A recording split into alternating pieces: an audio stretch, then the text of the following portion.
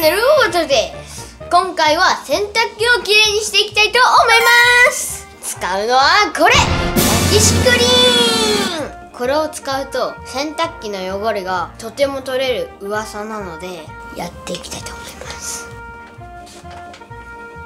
この縁は自分でやらなあかんけど洗濯槽の中ね。ここについてる毛玉取りとかのやつは取りました。で中がなんか超汚そう。まあ一見ねないけど多分あん中他にも見えない汚れがいっぱいあると思うから。じゃじゃーん。やっていきます。じゃあこの洗濯機が5年ものかな。で65リッターの容量があるんで10リッターに対して 100g ぐらいなんでこれを6杯ぐらい入れようか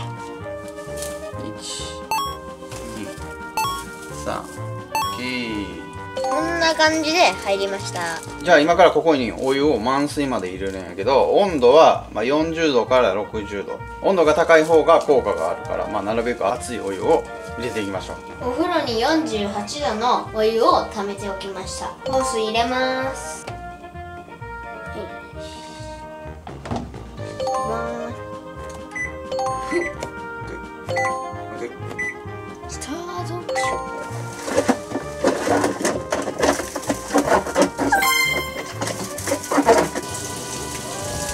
風に貼り入れるんや。洗い終わりました。では中を見ていきたいと思います。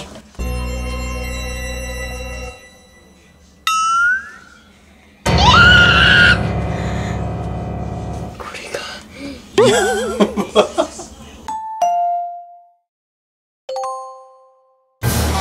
れ はやばいね。いや掃除らしい掃除って言ったら市販の洗剤入れてつけ置きとかはたまにしとったけどこれはやばいな。やばすぎるな。これやばいな汚れあんねん。じゃあ今からこの汚れを取っていきます。これで取っていきます。気持ち悪い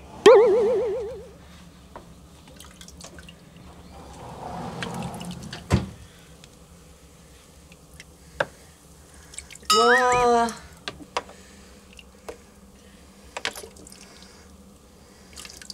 動物園やなまさに。匂いは？こんな感じで取っていきます。だいたいゴミは取り終わったのでもう一回洗いにかけてで1時間放置します。トゥルトゥルトゥルトゥルトゥルはいというわけでもう1時間待ちました。じゃあ開けていきたいと思います。どうなったやろな。まだやっぱ汚れ残っとうかな。はい。まだ浮いとりますね。これを洗いとまた1時間待つを繰り返してこの汚れがねほぼなくなるまで繰り返します。はい。じゃあ取っていきましょうねはいというわけであれからね結局5回ぐらい洗いをしてゴミをすくってで1時間放置してを繰り返しました。で今こんな状態。もう汚れはだいぶ取れたんよめっちゃ濁っとるけどまだでも取れきれてない部分は今からこれを脱水してそこに残った汚れをねまた手で取ってで最後に、えー全自動で1回回す。それで完了。で一応今回のオキシクリーンの使用方法は記載されているものとはちょっと違うので使用する時は自己責任で両方に従ってやってもらった方がいいかもしれません。でも今回結構効果はあったんで良かったかなと思います。じゃあ早速これ脱水していきます。脱水終わりましたはい終わったよ。じゃあ開けてください。おいやめっちゃ綺麗やでこれあんだけしかも残ってないからこの辺をもうちょっと綺麗にして最後一通り全自動で回したらいいねこれ届くて届かへんな。お父さんがやるわ。はいというわけで一応掃除全部ね汚れを取りました。なんで今から全自動で一回かけていきます。お任せで水量だけ一番満杯にしとくか。よし。これでスタート。あと1回かけてみてまた汚れが溜まっとったらまた取らなあかん。けどじゃあこれで待ちたいと思います。はいゴミを取ってもう1回だけねお任せコースをしました。じゃあ開けてみましょうか。はい。多分もう残ってないはずねういきれいめっちゃ綺麗やん。ということでこれで一通りの作業は終わりました。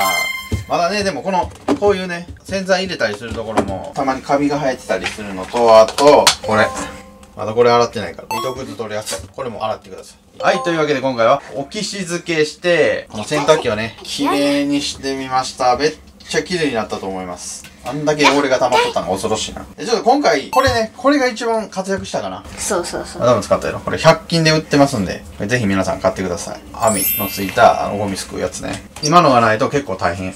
今回は渡るくんの夏休みの宿題も兼ねて洗濯機の大掃除をしてみました。はい。今回はオキシ漬けしたんですけどいろいろやり方はあると思うんで皆さんもぜひ試してみてください。この動画が少しでもよかったらグッドボタンチャンネル登録よろしくね。Twitter、インスタ、TikTok、LINE もフォローよろしくね。じゃあバイバーイ。最後まで見てくれてありがとう。他の動画も見てね